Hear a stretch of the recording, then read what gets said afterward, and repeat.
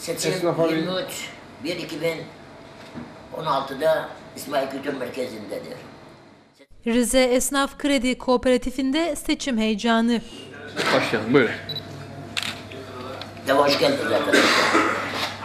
Şimdi ben Zafer Ozan. O 23 1 2016'da Esnaf Kooperatifinde bir seçimimiz vardı. Bazı arkadaşlar diyorlar ki niye aday oldunuz? Seçimimize bir sene olmasına rağmen Sayın Yönetim ve Başkanımız bir sene evvelini alıyor. Bana teklif edildi mülaza aza ol diye. Mülaza aza şudur. Gidersin oraya aydan aya, atarsın imzayı, alırsın maaşını. Ben dedim böyle bir şey olur mu dedim. Ben görev adamıyım, ben esnafın dostuyum, esnafa inmem lazım dedim. Rize Esnaf Kefalet Kooperatifinde iki adaylı seçim 23 Ocak tarihinde yapılacak. Sağ olsunlar bizi aday gösterdiler. Başkan adayı Zafer Ozan düzenlediği basın toplantısında mevcut yönetim ve Başkan Güven Aksoy'un esnaf için yaptığı şeylerin üzerine kat kat koyarak görev yapacaklarını söyledi.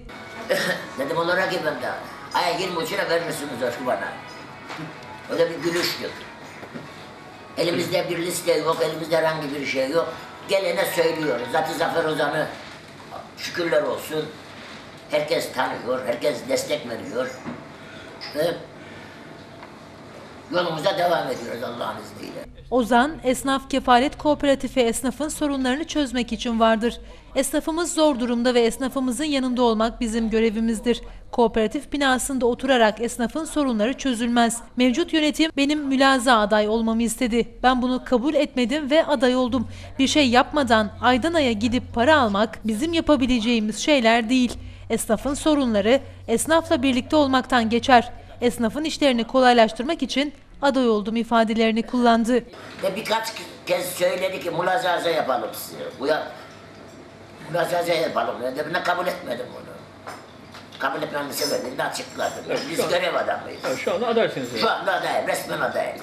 Zafer Bey, Zafer Bey siz ne yapacaksınız farklı olarak? Mevcut yönetimden daha farklı neler yapacaksınız? Şimdi mevcut yönetimden daha farklı biz bir sene oraya oturup dur, durmayacağız. Esnafı kucaklayıştıracağız, zorlaştırıcı olmayacağız her zaman. Elimizden geldiği kadar yardım edeceğiz. Ki biz buraya biz şeyi götürmüşydük. Kredi kartı yolladık, post cihazlarını. Mücadelemizi Ankara'ya gidip mücadelemizi vereceğiz.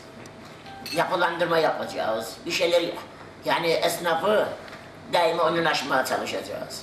Yani bazı esnaf arkadaşlar 10 lira lazım ona 9 lira verelim demeyeceğiz. Gideceğiz bilakis kendimiz yerinde inceleyeceğiz onları.